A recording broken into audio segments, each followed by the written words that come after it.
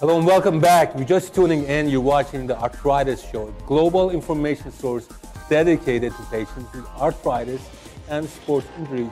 Joining us today in our studio is Dr. Ahuva Gamliel. Hi, Doc. How are you? Hi, nice to meet you. Great to have you here. Thank you.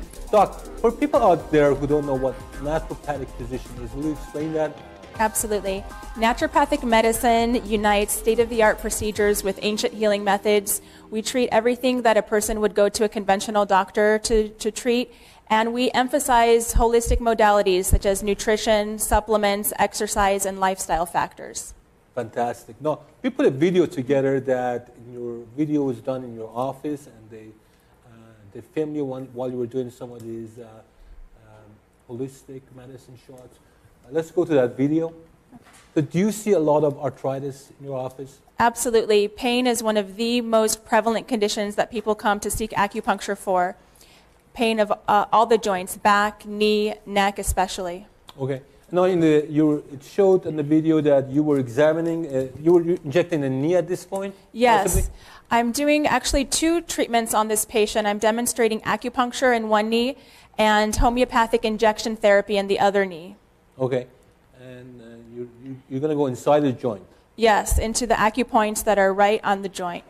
And what I'm injecting here is a homeopathic solution called Zeel. Zeel is an anti-inflammatory analgesic, which is for chronic inflammation.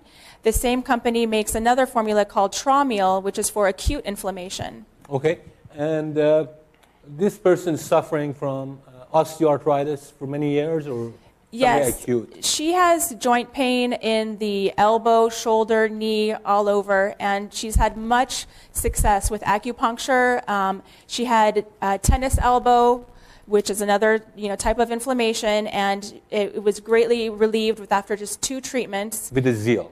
Um, with just acupuncture. acupuncture, Yeah, okay. and this was actually the first time that we did the Zeel in her knee, which is in the PDR. you're doing acupuncture on him. On the other knee, You can see that on the uh, yes. on the um, monitor up there.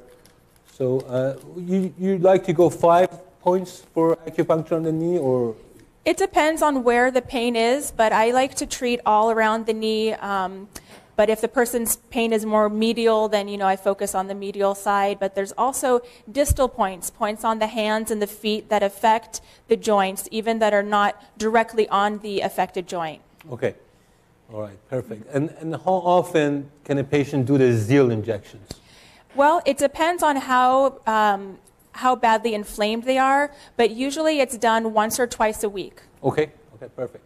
Now, uh, for the look, she, you're you're you're just about. Is that an acupuncture point, or is it uh, you're treating the arthritis in the finger? Okay, so the point here, which I want to demonstrate here in the in the studio, is called the panacea point, and it's actually for pain anywhere in the body. It's used even for dental anal- analgesia. Um, it's used for surgery. Um, it can be related to arthritis or not related to arthritis. It can even be massaged if a person has a headache. And that will help the area. Yes. All right. Now, in our studios today, Doc is going to do a demonstration. He's going to put a needle on me. This is for people out there who are needle shy, who think that uh, it's painful. But the acupuncture is very, very uh, subtle, right? Very subtle. Very subtle. Okay.